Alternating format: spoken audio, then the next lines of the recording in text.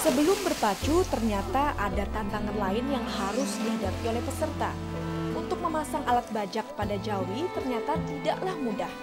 Selain pemilik sapi, diperlukan dua orang atau lebih untuk melakukannya. Setelah itu, mereka harus menyatukan dua sapi dengan tali yang dimasukkan ke dalam hidung. Jana adalah orang yang bertugas membantu para peserta.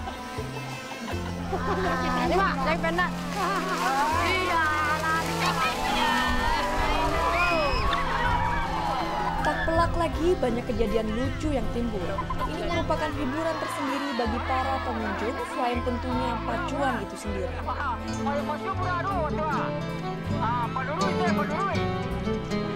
Ah.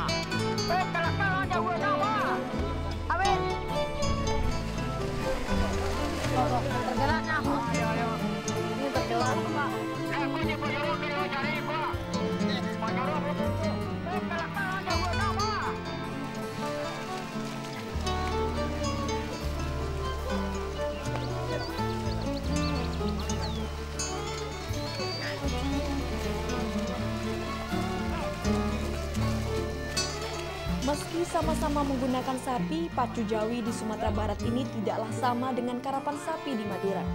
Kalau di Madura itu kan pacunya di, di Nangkariang kan. Kalau di sini kalau di sini ini pacunya di tempat di tempat yang beraya ini. Nah, di sawah ayo. Ya, sawahnya seperti inilah kalau lapar lokasinya seperti ini. Ah, akan pacu untuk menyambut oh, hiburan-hiburan nagari yang macam. Dan ternyata ada trik-trik tertentu agar Jawi-Jawi ini dapat berlari dengan kencang. agar bisa jalan artinya lancar. Nah itu pemegangnya itu sebaik mungkinnya adalah pemiliknya. Ya, untuk menambah kecepatan yang pertama itu adalah kepintaran di yang joki dan yang keduanya eh, ekornya itu kan bisa digigit gitu agar supaya menambah cepatnya larinya.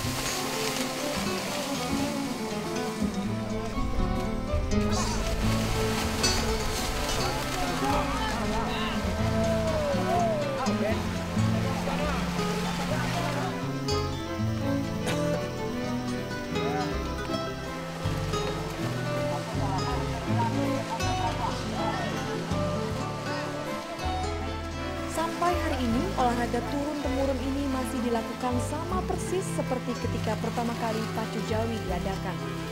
Sang pemenang adalah Jawi yang mencapai garis finish paling cepat.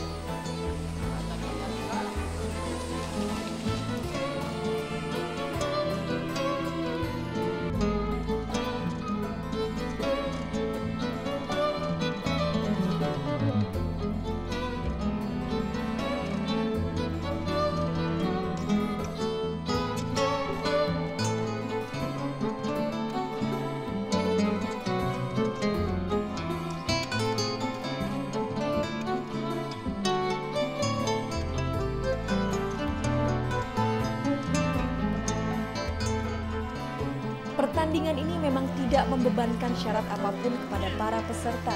Mungkin karena itulah pemenang dalam pacu Jawi ini juga tidak mendapatkan hadiah. Namun pemilik sapi akan mendapatkan imbalan lain yang cukup menggiurkan.